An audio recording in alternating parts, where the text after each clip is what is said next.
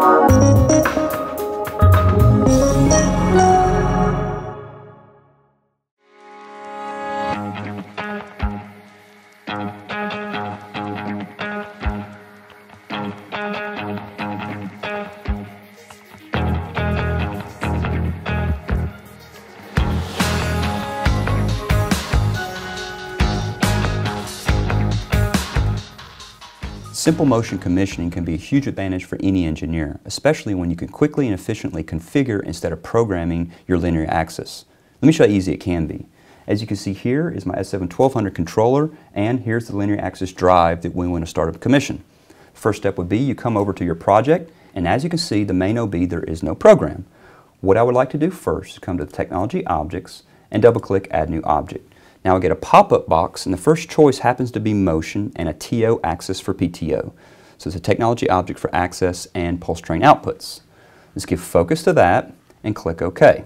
So now it's actually going to save this to our current project and now we can start configuring.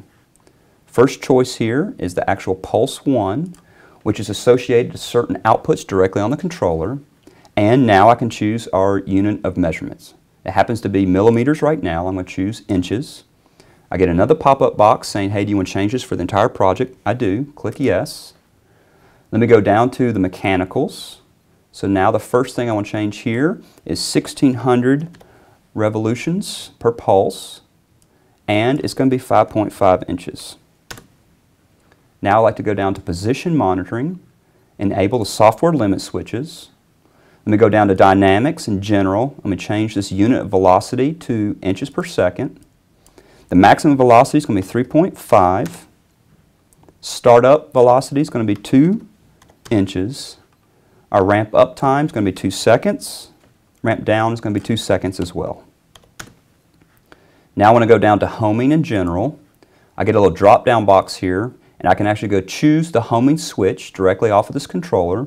It is input 0.6. It's going to automatically choose an actual tag for us at this point. Let me select the level and make this a low level.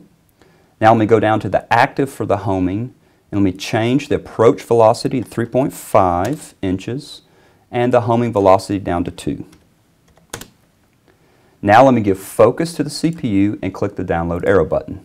So now it's going to compile everything that I've done up to this point.